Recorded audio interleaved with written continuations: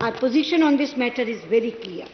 There is no evidence of wrongdoing by Sri. If anything, he is the victim of a plan that seeks to cast aspersions on India to deflect international attention from Pakistan's well-known record of sponsoring and supporting terrorism.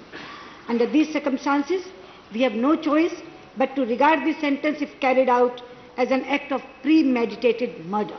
इस पूरे case में इसको बचाने के लिए जो भी करना पड़ेगा आउट ऑफ़ द वे जाके हम लोग करेंगे।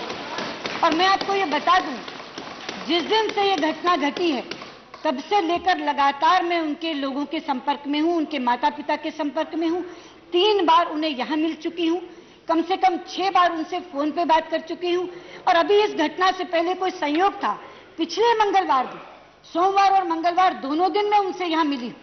इसलिए हम लोग बिल्कुल संपर्क में हैं। ये विषय पूरे अब वो केवल अपने माता पिता का बेटा नहीं है वो पूरे हिंदुस्तान का बेटा है। और हिंदुस्तान के इस बेटे को बचाने के लिए सुप्रीम कोर्ट की अपील या अच्छा वकील खड़ा करना तो बहुत छोटी बात है भाईजान। हम लोग प्रेसिडेंट तक भी जो बात करनी वो भी करेंगे और किसी ना किसी तरह से इस जादव को Okay. बचाने का काम करेंगे। Senior Pakistani leader has himself expressed doubts about the adequacy of evidence in this case.